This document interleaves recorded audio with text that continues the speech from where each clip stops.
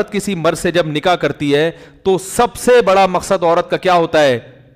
सहारा चाहिए। और मुआशी?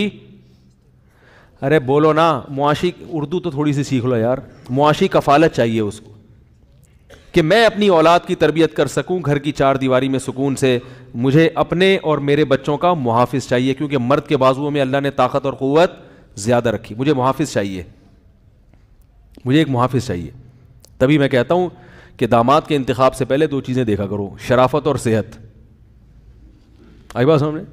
ऐसा ना हो कि उसके लिए चार मुहाफिज आपको रखने पड़े।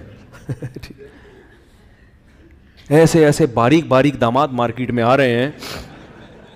ऐसे। इतने बारीक। तो यार, यानी अब क्या करे आदमी? छोड़े। तो मूसा सलाम को अपनी बेटी जब दी ना उन्होंने वो जो थे मदियन में जब गए थे, हज़रत मूसा सलाम तो वो दो बच्चियों को पानी पिलाया उन्होंने। तो बच्चियों ने कहा, इनको उजरत पे रख लें। तो वालिद ने कहा कि, उजरत क्या, मैं तो अपनी एक बेटी तुमसे शादी करना चाहता हूँ। फ़ौर फैसला कर लिया। हालाँकि पहली मुलाकात है। पहली मुलाकात में कोई किसी को दामाद के लिए सिलेक्शन नहीं करता। तो अलमा ने लिखा, दो चीज़ें देख ली थी उन्होंने मूसा में। एक, अमानत।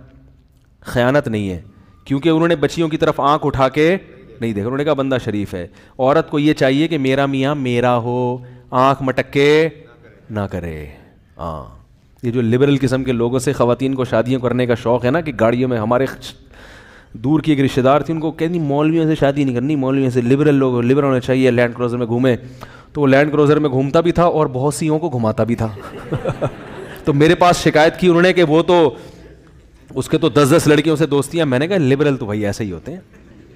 वो तो इसको छिछोरपना समझते हैं कि हम किसी की तरफ़ आँख भी ना उठाएँ बदनजरी का गुना मिलेगा वो क्या है? बदनजरी क्या गुना लाइफ को एंजॉय करो। वो बेगम से कहते तो तुम्हें क्या तकलीफ़ है? तुम्हें खर्चा मिल रहा है ना?